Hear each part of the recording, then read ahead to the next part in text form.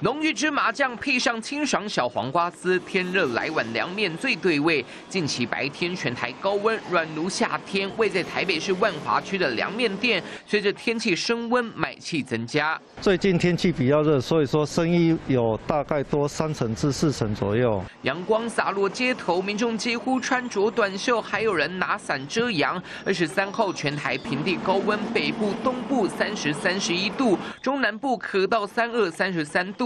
气象局更预测，台南、高雄局部地区恐破三十六度。不过，这样的好天气剩下一天。呃，明天有一道封面会呃略微的通过我们的北边，降雨几率会稍微增加一些。周末这一段时间，由于东北季风的影响，气温也会略微下降。未来的降雨趋势，由于封面持续接近，预估周五下午就会逐渐开始影响。水汽变多，中部以北局部短暂阵雨。到了周六，中部以北、南部山区降雨几率增高。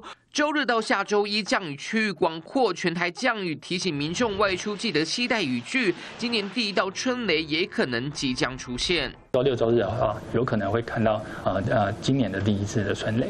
近日天气变化大，气象局也建议周四天热可穿短袖上衣，但周五到周日建议添加薄外套。各地早晚温差大，要特别留意。记者陈振茂、杨宗彦台北报道。我是徐国豪，在中视新闻首次坐上主播台，体会到播报新闻所需要的稳健台风，以及掌握突发即时新闻的随机应变。为观众播报最及时的新闻，就是展现专业的时刻。更多新闻，请锁定中视新闻 YouTube 频道，记得按赞、订阅、分享，并开启小铃铛哦。